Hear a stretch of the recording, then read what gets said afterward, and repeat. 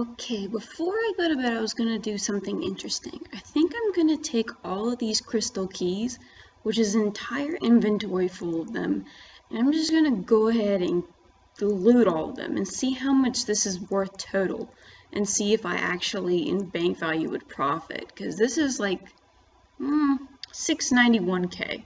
So let's go try this out. If you don't know what I'm doing, basically you can get these crystal keys by connecting a loop and a tooth half and you can come to Taverley and open this chest and it will give you basically a loot. Okay, it's securely locked. See, and I'm just going to be doing this to see um, if I profit. Moment of truth. I did not, um, I put the runes in my bank and I also am not going to be price checking the spinach rolls because uh, they just not worth much in the runes. Like I said, I'm not price checking those either. So this is out of 28 keys.